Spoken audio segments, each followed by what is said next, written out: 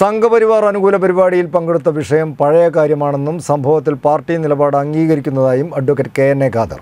മുരിങ്ങമ്പുറായിൽ മാധ്യമപ്രവർത്തകരോട് സംസാരിക്കുകയായിരുന്നു K N A Khader. Sangh Parivar അനുകൂല സംഘടനയുടെ പരിപാടിയിൽ പങ്കെടുത്തതുമായി ബന്ധപ്പെട്ട വിവാദം അടഞ്ഞ അധ്യായമാണെന്നാണ് advocate K N A Khader പറഞ്ഞത്. പാർട്ടിയും താനും തമ്മിൽ നിലവിലൊരു പ്രശ്നമില്ലെന്നും ഇനി ഉണ്ടാവുകയില്ലെന്നും അദ്ദേഹം പറഞ്ഞു.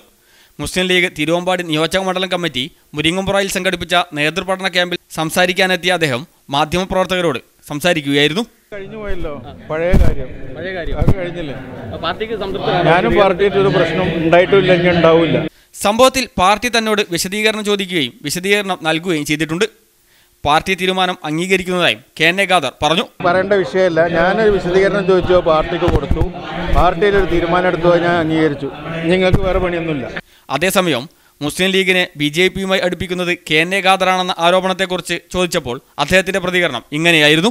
നിങ്ങൾ വേറെ എന്തായാലും ചോദിക്കും. ഏയ് ഞാൻ അതിനൊന്നും മറുപടി പറയേണ്ട ആവശ്യമില്ല. ഞാനും പാർട്ടിയായിട്ട് ഒരു പ്രശ്നമില്ല ഞങ്ങളെ കാത്തിരിക്കും വേണ്ട. നടക്കുന്ന കാര്യമല്ല അവിടെ കാത്തിരിക്കും വേണ്ട.